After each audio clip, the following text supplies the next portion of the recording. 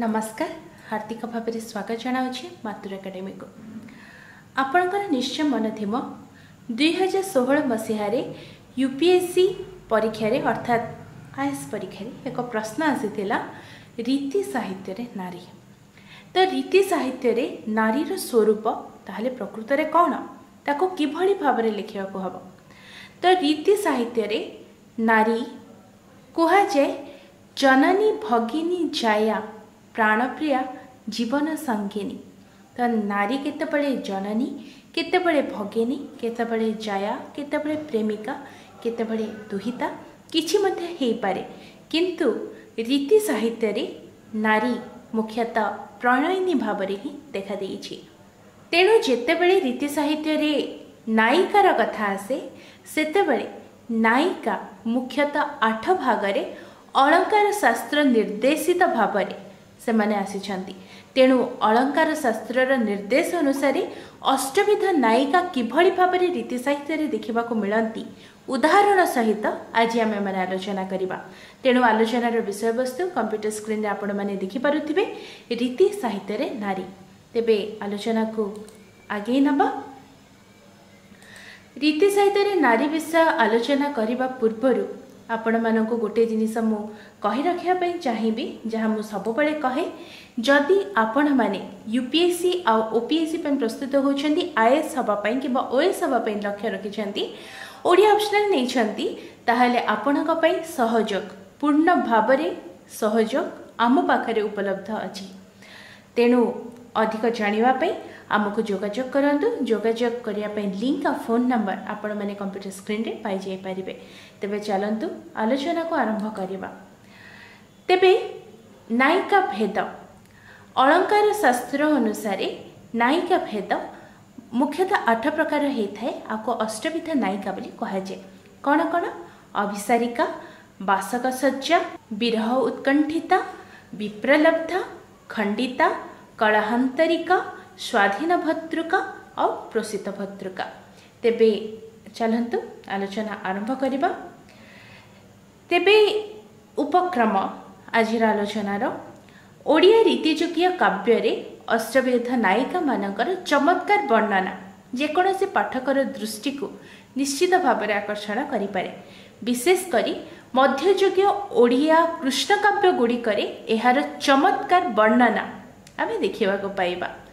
ଅଳଙ୍କାର ଶାସ୍ତ୍ର ନିର୍ଦ୍ଦେଶିତ ପନ୍ଥାରେ ଗତି କରି ଓଡ଼ିଆ ରୀତିଯୁଗୀୟ କବି ଏହି ଅଷ୍ଟାଦଶ ନାୟିକା ବର୍ଣ୍ଣନା କ୍ଷେତ୍ରରେ କିପରି ନିପୁଣତା ଅର୍ଜନ କରିଛନ୍ତି ତାହା ବର୍ତ୍ତମାନର ଆଜିର ଏହି ଆଲୋଚନାରୁ ସ୍ପଷ୍ଟ ହୋଇପାରିବ। ତେବେ ଦେଖିନେବା ପ୍ରଥମେ ଆସୁଛି ଅଭିସାରିକା। ତାହେଲେ ଅଭିସାରିକା କ'ଣ? ଯେଉଁ ନାୟିକା ଦୂତି ଦ୍ୱାରା କାନ୍ତକୁ ନିଜ ପାଖକୁ ଡକାଇ ପଠାଏ ବା ନିଜେ କାନ୍ତ ନିକଟକୁ ଯେ ଅଭିସାର ରଚନା କରେ ତାକୁ ଅଭିସାରିକା ନାୟିକା କୁହାଯାଏ। ଏହି ଅଭିସାରର ତାତ୍ତ୍ୱିକ ଗୁରୁତ୍ୱ ସମ୍ବନ୍ଧରେ କୁହାଯାଇପାରେ ଯେ ପ୍ରେମାବେଗର ଚୂଡ଼ାନ୍ତ ଅବସ୍ଥାରେ ପ୍ରଣୟିନୀ ବା ନାୟିକା ପକ୍ଷରେ ନିଜର ଦେହ ସଂସାର କୁଳାଭିମାନ ପାତିପ୍ରତ୍ୟ ଗୁରୁଜନଙ୍କର ଅନୁଶାସନ ଓ ଲଜ୍ଜାକୁ ବିସ୍ମୃତ ହୋଇ ମିଳନ ନିମିତ୍ତ ସଙ୍କେତ ସ୍ଥଳୀକୁ ସମସ୍ତ ବାଧାବିଘ୍ନକୁ ଅତିକ୍ରମ କରି ଯାତ୍ରା କରିବାକୁ ହେଇଥାଏ। ତ ଏଇଟା କୌଣସି ପ୍ରକାରରେ କମ୍ ଆୟାସ ସାଧ୍ୟ ନୁହଁ ଏଇଟା ନିହାତି ଭାବରେ ଏକ ବିରାଟ ବଡ଼ କଥା। ତ ଏଇ କାମ ନିଶ୍ଚିତ ଭାବରେ ସିଏ କରିପାରିବ। ଯେଉଁ ନାୟିକାର ନାୟକଠାରେ ସମ୍ପୂର୍ଣ୍ଣ ଆତ୍ମସମର୍ପଣ ରହିଛି ତେଣୁ ନାୟକଠାରେ ସମ୍ପୂର୍ଣ୍ଣ ଆତ୍ମସମର୍ପଣ ନ କରିବା ପର୍ଯ୍ୟନ୍ତ ନାୟକର ପ୍ରେମରେ ସମ୍ପୂର୍ଣ୍ଣ ନିର୍ଭରଶୀଳ ନ ହେବା ପର୍ଯ୍ୟନ୍ତ କୌଣସି କୁଳବତୀ ପକ୍ଷରେ ଏହି ପ୍ରକାରର ଦୁଃସାହସିକତା ସମ୍ଭବପର ହୁଏ ନା। ତେଣୁ ରୀତି ଯୁଗରେ ନାରୀ ପ୍ରସଙ୍ଗ ଆଲୋଚନା କଲାବେଳେ ଆମେ ଅଧିକାଂଶ ନାରୀଙ୍କୁ ଏଭଳି ଭାବରେ ଅଭିସାରିକା ରୂପରେ ଆମେ ଦେଖିବାକୁ ପାଇବା। ତ ଉଦାହରଣ ସ୍ୱରୂପ ଦୀନକୃଷ୍ଣ ଦାସଙ୍କର ରସକୋଲ୍ଲଳରେ ଆମେ ଦେଖିପାରିବା ସେ ଲେଖୁଛନ୍ତି ପିତ ପଦନୀ ପିନ୍ଧି ଆପଣ ଆରମ୍ଭରେ ଚିହ୍ନ ଦେଖିପାରୁଥିବେ ମୁଁ ଏଇଟା ଅଧାରୁ କହୁଛି। ସେଥିପାଇଁ ଆରମ୍ଭଟା କରୁନାହିଁ ନହେଲେ ରସକଲ୍ଲୋଳ କାବ୍ୟର ସବୁ ପଙ୍କ୍ତିର ପ୍ରଥମ ଅକ୍ଷର କଠୁ ଆରମ୍ଭ ହୋଇଥାଏ? ତେବେ ମୁଁ ସେଇଠୁ ହିଁ କହୁଛି ଯେତିକିରେ ଆମେ ଅଭିସାରିକା ନାୟିକାର ଲକ୍ଷଣ ଦେଖିପାରିବା। ତ କବି ବର୍ଣ୍ଣନା କରୁଛନ୍ତି କର୍ପୁଳ ଧୂଳି ଅଙ୍ଗରେ ବୋଳି କୁସୁମ ଗଭା ବାନ୍ଧି। ମାନେ ନିଜ ରୂପକୁ ସେ ସଜ୍ଜିତ କରୁଛି। କ୍ରୀଡ଼ାକୁ ପାଇ ବ୍ରୀଡ଼ା ପକାଇ କୃଷ୍ଣରେ ଦେଇ ମତି। ବ୍ରୀଡ଼ା ମାନେ ଲଜ୍ଜା। ଲଜ୍ଜାକୁ ପକେଇ ଦେଇ ତ୍ୟାଗ କରିକି କୃଷ୍ଣରେ ମତି ଦେଉଛି। କରଇ ଗଜ ଗମନି ଗଜପତି ପରାଏ ଗତି। ତ ଗଜପତି ପରି ଅର୍ଥାତ୍ ଗଜେନ୍ଦ୍ର ଭଳି ଗଜଗମନ ଗମନ କରୁଛି।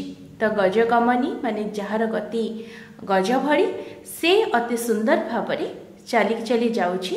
ଅଭିସାର ରଚନା ପାଇଁ କେତେ ସୁନ୍ଦର ବର୍ଣ୍ଣନା କରୁଛନ୍ତି କବି ଏଠାରେ ତ ଆଉ ଅନେକ ଗୁଡ଼ିଏ କାବ୍ୟରେ ମଧ୍ୟ ଆମେ ଅଭିସାରିକା ନାୟିକାର ବର୍ଣ୍ଣନା ଦେଖିବାକୁ ପାଇବା ଯେଭଳି ଭାବରେ ଶ୍ୟାମସୁନ୍ଦର ଦେବ ରଚନା କରିଛନ୍ତି ଅନୁରାଗ କଳ୍ପଲତା ଏହାର ରୋଚକ ବର୍ଣ୍ଣନା ଯେକୌଣସି ପାଠକ ନିହାତି ଭାବରେ ଅନୁଭବ କରିପାରିବ ଏଇଥିରେ ଅଭିସାରିକା ନାୟିକାର ଅତ୍ୟନ୍ତ ସୁନ୍ଦର ବର୍ଣ୍ଣନା ରହିଛି ଠିକ୍ ସେଭଳି ଭାବରେ ବିଦଗ୍ଧ ଚିନ୍ତାମଣିର ଅଣଷଠି ଛନ୍ଦରେ ଶ୍ରୀରାଧାଙ୍କର ସୂର୍ଯ୍ୟପୂଜା ଉପଲକ୍ଷେ ଯେଉଁ ବେଶସଜ୍ଜା ହେଇଛି ସେଇଥିରୁ ଅଭିସାରିକା ନାୟିକାର ଲକ୍ଷଣକୁ ଆମେ ବେଶ ଭଲ ଭାବରେ ଅନୁଭବ କରିପାରିବା।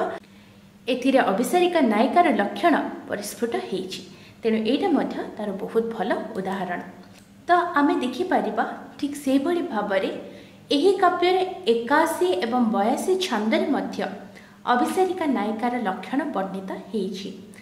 ଅଭିମନ୍ୟୁ ସାମନ୍ତ ସିଂହାରଙ୍କର ପ୍ରେମ ଚିନ୍ତାମଣି କାବ୍ୟରେ ମଧ୍ୟ ଆମେ ଅଭିସାରିକା ନାୟିକାର ବର୍ଣ୍ଣନା ଦେଖିପାରିବା। ଏହାର ଅଷ୍ଟାବିଂଶ ଛାନ୍ଦରେ ବର୍ଣ୍ଣନା ହେଇଛି କିଭଳି ଭାବରେ ସୂର୍ଯ୍ୟପୂଜା ଛଳରେ ଶ୍ରୀକୃଷ୍ଣଙ୍କ ସହିତ ମିଳିତ ହେବା ପାଇଁ ଶ୍ରୀରାଧା ଯାଉଛନ୍ତି। ତ ଏହି ବର୍ଣ୍ଣନାର ଅନ୍ତରାଳରେ ଆମେ ଦେଖିପାରିବା ଶ୍ରୀରାଧାଙ୍କର ଅଭିସାରିକା ବେଶ। ତେବେ ପରବର୍ତ୍ତୀ ଆଲୋଚନା ଆମର ରୀତି କାବ୍ୟରେ କିଭଳି ଭାବରେ ବାସକ ଶଯ୍ୟା ନାୟିକା ଦେଖିବାକୁ ମିଳେ। ତ ପ୍ରଥମେ ଦେଖିନେବା ବାସକ ଶଯ୍ୟା ମାନେ କ'ଣ? ପ୍ରିୟଙ୍କର ଆଗମନ ଜାଣି ଯେଉଁ ନାୟିକା ବିଭିନ୍ନ ଆଭରଣ ଆଦିରେ ମଣ୍ଡିତ ହେଇ ବାସଗୃହରେ ନିଜକୁ ସଜ୍ଜିତ କରୁଥାଏ ତାହାକୁ ବାସକ ଶଯ୍ୟା କୁହାଯାଏ। ତ ଏହା ମଧ୍ୟ ଆମେ କହିପାରିବା ଯେଉଁ ପ୍ରିୟା ପ୍ରିୟ ନିମିତ୍ତ କୁଞ୍ଜବନରେ ଅବସ୍ଥାନ ପୂର୍ବକ ପ୍ରତୀକ୍ଷା କରି ନିଜର ତନୁ ଓ ବାସଗୃହକୁ ସୁସଜ୍ଜିତ କରୁଥାଏ ତାହାକୁ ବାସକ ଶଯ୍ୟା ନାୟିକା କୁହାଯାଏ। ତ ରୀତି କାବ୍ୟରେ ବାସକ ଶଯ୍ୟା ଭାବରେ ମଧ୍ୟ ନାୟିକାର କୌଣସି ଅଭାବ ପରିଲକ୍ଷିତ ହୁଏ ନାହିଁ। ତ ଆମେ ଦେଖିପାରିବା ଶ୍ୟାମସୁନ୍ଦର ଦେବଙ୍କର ଅନୁରାଗ କଳ୍ପଲତାର ସପ୍ତମ ସ୍ତବକରେ ସେ କହୁଛନ୍ତି ଆଣିଗଲା କୃଷ୍ଣଙ୍କୁ ସଙ୍କେତସ୍ଥଳେ ଦୂତି ଅଙ୍ଗନା ବାସକ ଶଯ୍ୟାକୁ କୃଷ୍ଣ ଗୃହେ ସ୍ଥିତି। ତ ଏଇଠି ପୁରା ସ୍ପଷ୍ଟ ଭାବରେ କୁହାଗଲା ଯେ ବାସକ ଶଯ୍ୟାକୁ କୁଞ୍ଜ ଗୃହେ ସ୍ଥିତି। ତାମାନେ ଏଥିରେ ନାୟିକା କେଉଁ ଭାବରେ ଦେଖାଦେଉଛନ୍ତି ନା ବାସକ ଶଯ୍ୟା ଭାବରେ। ଅନଳ୍ପ ସୁବାସ ପୁଷ୍ପ ତଳ୍ପ ବିରାଜିତ ଅବିରତ ତରଳାଇ କାମବର ଚିତ ତ ପୁଷ୍ପରେ କିଭଳି ଭାବରେ ତଳ୍ପ ସେଜ ପ୍ରସ୍ତୁତ ହେଇଛି ସେଜକୁ ସଜ୍ଜା କରିଛନ୍ତି ସେ ବିଷୟ ଏଠାରେ ବର୍ଣ୍ଣନା କରୁଛନ୍ତି। ପୁଣି କାମବୀରଙ୍କର ଚିତ୍ତକୁ ତରଳାଇ ଦେବା ପାଇଁ ସେ ସମ୍ପୂର୍ଣ୍ଣ ରୂପରେ ନିଜକୁ ମଧ୍ୟ ପ୍ରସ୍ତୁତ କରୁଛନ୍ତି। ଅତି ମୁକ୍ତ ଛୁରିକ କୁସୁମ ନାଗେଶ୍ୱର ଆଣିମାଳ ରଚେ ମଣ୍ଡନକୁ ଜୀବେଶ୍ୱର। ତ କେତେ ସୁନ୍ଦର ଭାବରେ ଏଠି ବାସକ ସୂର୍ଯ୍ୟ ନାୟିକାର ବର୍ଣ୍ଣନା ଆମେ ଦେଖିପାରିବା। ତ କେଉଁଠୁ ଆସିଛି? ପୁଣି ଥରେ କହୁଛି ଶ୍ୟାମସୁନ୍ଦର ଦେବଙ୍କର ଅନୁରାଗ କଳ୍ପଲତାରୁ ଏ ପଙ୍କ୍ତିଟି ଆସିଛି।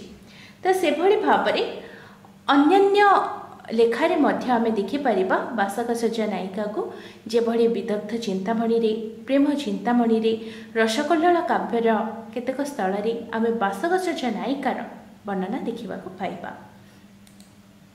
ତେବେ ପରବର୍ତ୍ତୀ ଆଲୋଚନା ଆମର ବିରହ ଉତ୍କଣ୍ଠିତା ନାୟିକା। ତ ନାୟିକା ନିକଟକୁ ଆସିବାର ସମସ୍ତ ଇଚ୍ଛା ସତ୍ତ୍ୱେ ଯଦି କୌଣସି କାରଣବଶତଃ ନାୟକ ଆସି ନପାରେ ଏବଂ ପ୍ରିୟ ନ ଆସିବାର କାରଣ ଯୋଗୁଁ ଦୁଃଖରେ ପୀଡ଼ିତା ହେଇକି ନାୟିକା ଥାଏ ତାହେଲେ ସେଇ ନାୟିକାକୁ ଆମେ ବିରହ ଉତ୍କଣ୍ଠିତା ନାୟିକା କହିବା। ତ ରୀତିଯୁଗୀୟ କାବ୍ୟରେ ଆମେ ଏଭଳି ବିରହ ଉତ୍କଣ୍ଠିତା ନାୟିକାକୁ ବିଲକୁଲ କମ୍ ଭାବରେ ଦେଖିବା ନାହିଁ। କାରଣ ରୀତିଯୁଗୀୟ କାବ୍ୟରେ ନିଶ୍ଚିତ ଭାବରେ ପ୍ରେମ ଯେତିକି ଗୁରୁତ୍ୱପୂର୍ଣ୍ଣ ଅଛି ସେତିକି ବିରହ ମଧ୍ୟ ଅଛି। ତେଣୁ ବିରହ ଯେତେବେଳେ ଗୁରୁତ୍ୱପୂର୍ଣ୍ଣ ସ୍ଥାନ ଗ୍ରହଣ କରିଛି ତ ବିରହ ଉତ୍କଣ୍ଠିତା ନାୟିକା ମଧ୍ୟ ସେତିକି ଗୁରୁତ୍ୱପୂର୍ଣ୍ଣ ସ୍ଥାନ ନିହାତି ଭାବରେ ଗ୍ରହଣ କରିଛି। ତେଣୁ ଆମେ ତା'ର ଉଦାହରଣ ଗୋଟେ ଦେଖିବା। ତ ବିଦଗ୍ଧ ଚିନ୍ତାମଣି କାବ୍ୟରେ ଶ୍ୟାମଙ୍କ ବିରହରେ ଉତ୍କଣ୍ଠିତା ରାଧା ଇହକାଳରେ ନହେଲେ ମଧ୍ୟ ପରକାଳରେ ଶ୍ୟାମଙ୍କ ସହିତ ମିଳିତ ହେବାର ଏକ ସୁନ୍ଦର କାମନାକୁ ପୋଷଣ କରିଛନ୍ତି। ତ ସେ ଯାହା କହୁଛନ୍ତି ତାହା ଅତି ସୁନ୍ଦର। ସେ କହୁଛନ୍ତି ଜୀବନ ଗଲେ ଏତିକି କରିବ ଶ୍ୟାମ ନାମ ମୋର ହୃଦୟ ଲିହିବ। ଶ୍ୟାମ ରୂପମୂର୍ତ୍ତି ହୃଦୟ ଲଗାଇ ଶ୍ୟାମ ବସନ ଅଙ୍ଗାରେ ଘୋଡ଼ାଏ ଶ୍ୟାମ ଗତି ପଥେକ ମୋସବ ପୋତିବ ଆପଣା ହସ୍ତେ।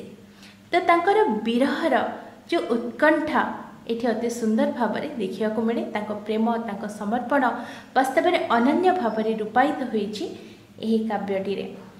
ତେବେ ବିରହ ଉତ୍କଣ୍ଠିତ ନାୟିକା ଭାବରେ ଆମେ ଅନ୍ୟାନ୍ୟ ଉଦାହରଣ ମଧ୍ୟ ରୀତି କାବ୍ୟର ଅନେକତ୍ର ଦେଖିବାକୁ ପାଇବା। ତେବେ ବିପ୍ରଲବ୍ଧା। ବିରହ ଉତ୍କଣ୍ଠିତ ନାୟିକାର ଉତ୍କଣ୍ଠା ବିପ୍ରଲବ୍ଧାର ବ୍ୟଥା ଓ ଚିନ୍ତା ମଧ୍ୟରେ ରୂପ ଲାଭ କରିଥାଏ। ତା ମାନେ ବିପ୍ରଲବ୍ଧ ନାୟିକା ଚିନ୍ତା ଓ ହତାଶାରେ ମ୍ରିୟମାଣ ହେଇଯାଏ।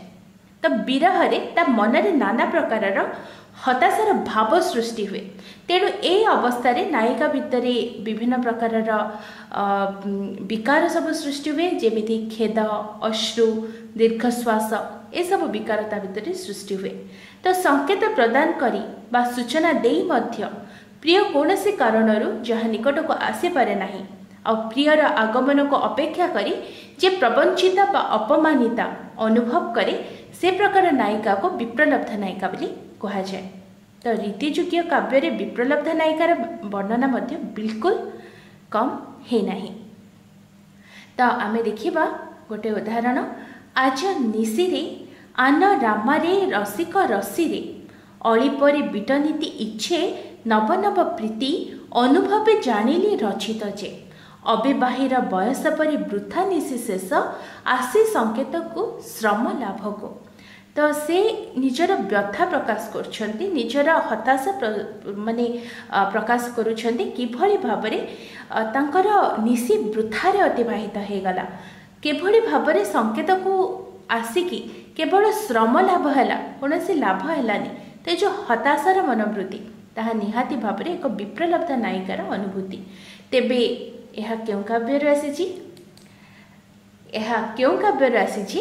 ତାହା ହେଉଛି ଅନୁରାଗ କଳ୍ପଲତା। ଅନୁରାଗ କଳ୍ପଲତାର ସପ୍ତମ ସ୍ତବକରେ ହିଁ ଏହା ବର୍ଣ୍ଣନା କରାଯାଇଛି।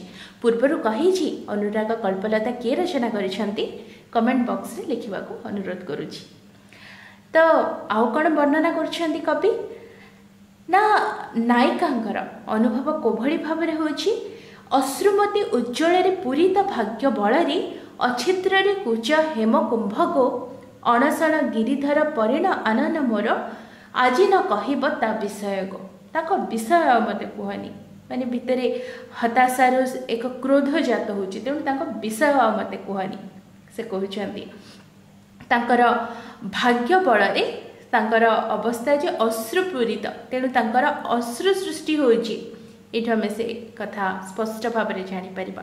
ତେଣୁ ଅଶ୍ରୁ ଖେଦ ହତାଶା ଏସବୁ ଭାବ ଏଠି ଆମେ ଦେଖିପାରିବା ତେଣୁ ଏହା ହେଉଛି ବିପ୍ରଲବ୍ଧା ନାୟିକାର ବର୍ଣ୍ଣନା ତେବେ ଆଜିର ଆଲୋଚନାକୁ ଏତିକିରେ ଶେଷ କରିବା ଚାରି ପ୍ରକାର ନାୟିକାଙ୍କ କଥା କହିଲି ଆଉ ଚାରି ପ୍ରକାର ନାୟିକାଙ୍କ କଥା ଏବେ ବି ବାକି ଅଛି। ଯଦି ଆପଣ ସେ ସମ୍ପର୍କରେ ଜାଣିବାକୁ ଚାହାନ୍ତି ମୋତେ କମେଣ୍ଟ କରିକି ଲେଖିଲେ ମୁଁ ନିଶ୍ଚିତ ଆଉ ଚାରି ପ୍ରକାର ନାୟିକାଙ୍କ ବିଷୟରେ କହିବି। ତାହେଲେ କେଉଁ କେଉଁ ଚାରି ପ୍ରକାର ନାୟିକାଙ୍କର ବର୍ଣ୍ଣନା ଆଜି ମୁଁ କରି ନାହିଁ କମେଣ୍ଟ ବକ୍ସରେ ମଧ୍ୟ ତା ମୋତେ ଲେଖିକି ଜଣାଇବାକୁ ଅନୁରୋଧ। ତେବେ ଆଲୋଚନାକୁ ଏତିକିରେ ଶେଷ କରିବା। ଆଲୋଚନା ଶେଷ କରିବା ପୂର୍ବରୁ ଗୋଟିଏ କଥା ପୁଣି ଥରେ ଆପଣମାନଙ୍କୁ କହିବାକୁ ଚାହୁଁଛି।